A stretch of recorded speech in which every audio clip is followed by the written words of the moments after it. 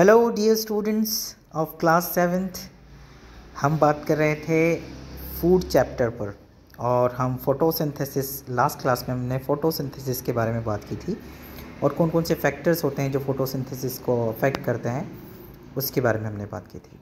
अब हम आगे बढ़ते हुए बात करेंगे how do plants obtain their requirements for photosynthesis वैसे जब फोटोसिंथेसिस को हमने डिस्कस किया था तभी हमने इस विषय में बात की थी कि ये जो चारों कंपोनेंट्स हैं जैसे का, कार्बन डाइऑक्साइड वाटर क्लोरोफिल और सनलाइट ये किस तरीके से प्लांट ऑप्टेन करता है फोटोसिंथेसिस के लिए?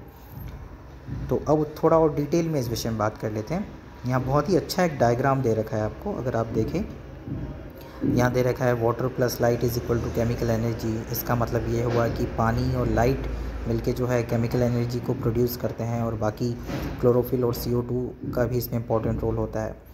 तो हम देखते हैं कि इस डायग्राम में कैसे रिप्रेजेंट हुआ है। तो you can see they have represented number one chloroplast trapped light energy सबसे पहले क्लोरोप्लास्ट जो होता है, या जिसको हम क्लोरोफिल बोल रहे हैं, उस, वो लाइट को ट्रैप करता है। सनलाइट जब उस पर गिरती है तो वो हीट एनर्जी को केमिकल एनर्जी में कन्वर्ट करता है। वाटर एंटर करता है। ये भी हम अभी बात करेंगे कि किस तरीके से रूट से वाटर जो है प्लांट के लीव तक पहुँचता है। फिर सी ओ टू के लिए देखिए इन्होंने लीव के निचले वाले हिस्से से ये एरो बताया है। अगर आप ये देख पा रहे हैं इस वाले एरो की बात कर रहा हूँ मैं। तो ये लीव के नीचे की तरफ़ से बताया है। तो पहले भी हमने बात की थी कि लीव के आ, निचले सरफेस पर पोर्स होती हैं छिद्र होते हैं जिन्हें हम क्या बोलते हैं स्टोमेटा तो उसी के थ्रू ये जो कार्बन डाइऑक्साइड ये एंटर करता है। और चौथा sugar produce in the leaf है ना? तो सनलाइट आ गया क्लोरोफिल ऑलरेडी है वाटर एंटर हो गया सी ओ टू पहुँच गया। तो फिर जो फोटोसिंथेसिस की प्रोसेस है, उससे चौथे स्टेप में यहाँ बताया है कि शुगर जो है या जो फ़ूड बना है वो लीफ में स्टोर हो गया। तो हम एक एक करके बात करते हैं। सबसे पहले सी के बारे में। तो सी अभी हमने बात की कि सी जो है या कार्बन डाइऑक्साइड जो है वो एयर में प्रेजेंट होता है और स्टोमेटा जो अंडर सरफेस है लीव की, उससे एंटर होती है। Water plants take plants take up water from the soil through the root system तो रूट सिस्टम होता है, हम सबको पता है। हम पौधों को पानी इसलिए देते हैं कि ताकि ये पानी जो है उनके रूट सिस्टम से होकर उनके शूट सिस्टम में और फिर लीफ में पहुँचे और वहाँ पर फोटोसिंथेसिस के प्रोसेस में पार्टिसिपेट करें। उसके बाद वाटर की रिक्वायरमेंट दूसरी भी होती है, लेकिन यहाँ हम स्पेसिफिकली फोटोसिंथेसिस के बारे में बात कर रहे हैं। क्लोरोफिल, ये सब ग्रीन प्लांट्स में, उनके लीव्स में प्रेजेंट होता है, जो फोटोसिंथेसिस में पार्टिसिपेट करता है।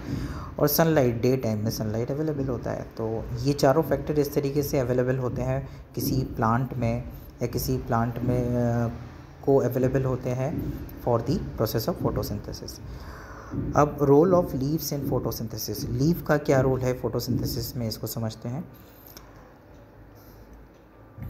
Photosynthesis occurs mostly in leaves जो इसीलिए लीव को किचन भी कहा जाता है प्लांट का, जहाँ पर फ़ूड तैयार होता है.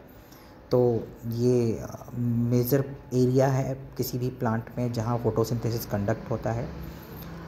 The inner structure of the leaf shows two important features presence of chlorophyll containing cells तो अगर हम किसी लीफ को जैसे यहाँ पर ओपन करके बताया है तो हम देख रहे हैं यहाँ क्लोरोफिल प्रेजेंट है या प्रेजेंस ऑफ़ स्मॉल पोर्स जिसको हम स्टोमेटा बोलते हैं, जो कार्बन डाइऑक्साइड के एंटर करने में मदद करता है। तो ये सब लीव के इंपॉर्टेंट पार्ट हो गए, जैसे क्लोरोफिल का प्रेजेंस होना उसमें और उसमें पोर्स होना, जिससे वो किसको सी को अंदर आने दे सके।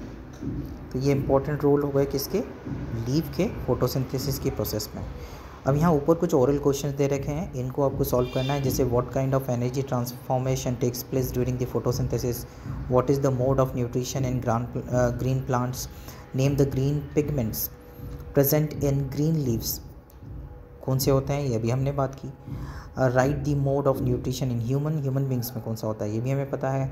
Which light is more effective in photosynthesis कौन सी लाइट फोटोसिंथेसिस के लिए ज़्यादा इफ़ेक्टिव होती है? जब हमने फैक्टर्स की बात की थी तो हमने बात की ये भी बात की थी कि कौन सी लाइट जो है फोटोसिंथेसिस के लिए ज़्यादा इफ़ेक्टिव है। कौन कौन से फैक्टर्स हैं जो फोटोसिंथेसिस के रेट को बढ़ा या घटाते हैं? तो ये एक टॉपिक कवर हुआ है। हम दूसरे टॉपिक की बात करते हैं। Synthesis of food other than carbohydrate by plants. Carbohydrate के अलावा दूसरे जो फ़ूड है, उनका सिंथेसिस प्लांट में कैसे होता है? तो plant synthesis glucose through photosynthesis glucose जो कि कार्बोहाइड्रेट है जिसमें मेजरली हाइड्रोजन ऑक्सीजन और कार्बन प्रेजेंट होता है। हमने देखा था formula C six H twelve O six तो सी सिक्स का मतलब छः कार्बन के आइटम एच सिक्स का मतलब है छः हाइड्रोजन के atom C six H twelve है तो बारह हाइड्रोजन के आइटम और ओ सिक्स का मतलब है छः ऑक्सीजन के आइटम तो C six H twelve O six मतलब ये तीन डिफरेंट एलिमेंट्स के अलग अलग नंबर्स हैं एटम्स के, जो जुड़कर ग्लूकोज बनाते हैं.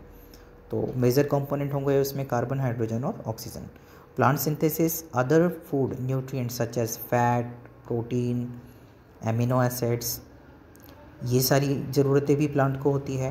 तो वो इन सब ज़रूरतों को कैसे पूरा करता है? जैसे कार्बोहाइड्रेट की ज़रूरत या ग्लूकोज की ज़रूरत तो फोटोसिंथेसिस से कर लेता है। तो फिर protein contains elements like nitrogen phosphorus and sulphur protein जितनी भी तरह की होती है, उसमें मेजर कंपोनेंट नाइट्रोजन होता है। उसके अलावा फास्फोरस और सल्फ़र प्रेजेंट होता है। जब हम मैन्योर की बात करेंगे या फर्टिलाइजर्स की बात करेंगे, तब हम इस विषय में भी बात करेंगे। तो क्योंकि ग्रोथ के लिए प्रोटीन की ज़रूरत होती है, अभी हम न्यूट्रिशन के अलग अलग कंपोनेंट का क्या रोल होता है और बैलेंस डाइट की बात करेंगे, तब हम इस विषय में डिटेल में बात करेंगे कि कौन से कंपोनेंट की कितनी ज़रूरत होती है हमारे रेगुलर न्यूट्रिशन में। सिर्फ़ कार्बोहाइड्रेट नहीं चाहिए, हमें सब तरह के न्यूट्रिएंट्स चाहिए हमारे बॉडी के प्रॉपर मेंटेनेंस और वर्किंग के लिए।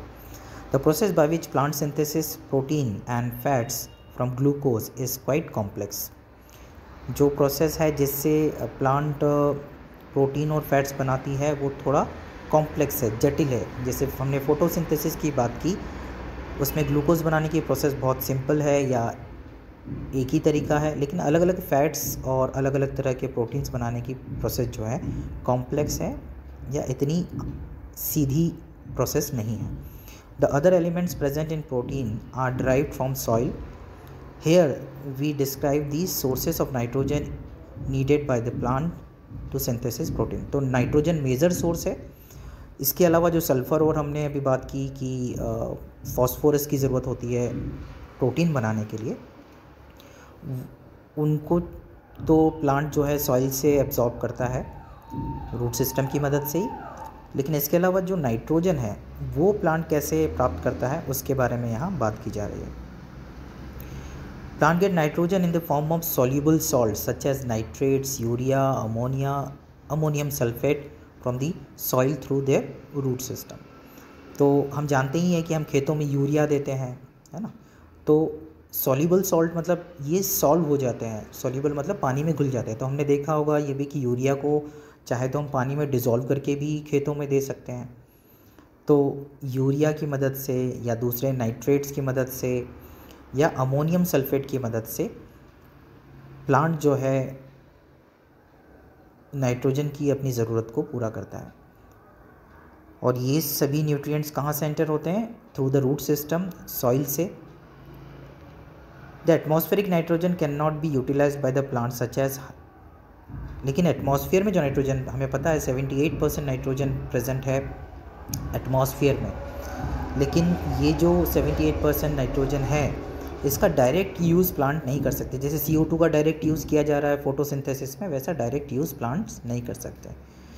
तो इस केस में क्या होता है? कुछ बायोलॉजिकल फिक्सेशन के लिए कुछ ऑर्गेनिजम्स होते हैं, जिनको हम बोलते हैं जो बैक्टीरिया फॉर्म में हो सकते हैं या दूसरे फॉर्म में हो सकते हैं। तो यहाँ एक बैक्टीरिया की बात की जा रही है, जिसको हम बोलते हैं राइजोबियम बैक्टीरिया जो लेगुमिनस प्लांट्स में पाए जाते हैं। लेगुमिनस प्लांट्स मतलब दलहन वाली जितने भी पौधे हैं, चाहे चना हो, दालें हों, इनकी जड़ों में आपको गांठें दिखेंगी नोड्यूल्स दिखेंगे। उसमें ये बैक्टीरिया प्रेजेंट होता है और इसको हम बोलते हैं सिम्बायोटिक रिलेशनशिप या सिम्बायोटिक बैक्टीरिया मतलब बैक्टीरिया मदद करते हैं एटमॉस्फेरिक नाइट्रोजन को स्टोर करने में प्लांट में और प्लांट क्या करता है, उसके बदले में उसे रहने और खाने की व्यवस्था करता है। तो इस तरीके से एक दूसरे की मदद करके रहना इसी को हम सिम्बायोसिस कहते हैं। एक दूसरे पे निर्भर रहना इसको हम सिम्बायोसिस कहते हैं। और इस, इसीलिए इस तरह के बैक्टीरिया को हम बोलते हैं सिम्बायोटिक बैक्टीरिया जो रूट नोड्यूल्स में प्रेजेंट होती है लेगुमिनस प्लांट की। और ये क्या करते हैं कि ये एटमॉस्फेरिक नाइट्रोजन को सॉल्यूबल सॉल्ट में कन्वर्ट कर देते हैं। जैसे कि नाइट्रेट्स बना देते हैं। तो एटमॉस्फेयर में जो नाइट्रे नाइट्रोजन है गैसियस फॉर्म में उसको ये नाइट्रेट फॉर्म में कन्वर्ट कर देते हैं। अभी एट्थ क्लास में जब आएँगे तो आप नाइट्रोजन साइकिल पढ़ेंगे। या आप चाहे तो अगर आपको देखना हो तो आप नाइट्रोजन साइकिल भी सर्च करके देख सकते हैं। तो उसमें आपको समझ में आएगा कि बायोलॉजिकल फिक्सेशन में नाइट्रोजन के ये किस तरीके से मदद करती है। इसके अलावा भी है नॉस्टॉक है एनाबिना है, लेकिन यहाँ पर राइजोबियम बैक्टीरिया के बारे में बात की जा रही है। दी सॉल्ट बिन सॉल्यूबल क्योंकि ये सॉल्यूबल सॉल्ट होते हैं नाइट्रेट्स ये एब्जॉर्ब कर लिए जाते हैं प्लांट्स द्वारा उनके रूट्स की मदद से। In this way plants get nitrogen to prepare protein in sorry needed for their growth and for the animals deriving their food from plants तो जैसे हमारी नाइट्रोजन की ज़रूरत हम कैसे पूरा करते हैं? हम दाल खाते हैं सोयाबीन बरी भी, ये भी बहुत नाइट्रोजन रिच होता है। तो इस तरीके से हम हमारी ज़रूरत का नाइट्रोजन डायरेक्टली प्लांट से प्राप्त कर लेते हैं। लेकिन प्लांट को ये नाइट्रोजन या ये प्रोटीन जो है, ये बनाने के लिए नाइट्रोजन दो माध्यम से या तो सॉइल से डायरेक्टली अगर नाइट्रेट फॉर्म में सॉइल में अवेलेबल है, जैसे हम यूरिया या दूसरे फर्टिलाइज़र्स प्रोवाइड करते हैं तो उसके थ्रू मिल जाता है। या फिर नाइट्रोज जो nitrogen fixation biological nitrogen fixation में मदद करने वाले बैक्टीरिया हैं वो भी मदद करते हैं प्लांट्स को नाइट्रोजन को स्टोर करने में या उनको फिक्स करने में फ्रॉम एटमॉस्फेयर तो इस तरीके से जो प्लांट है, उसकी नाइट्रोजन की रिक्वायरमेंट जो है, पूरी होती है प्रोटीन बनाने के लिए। फिर वो प्रोटीन हम प्लांट से प्राप्त कर लेते हैं।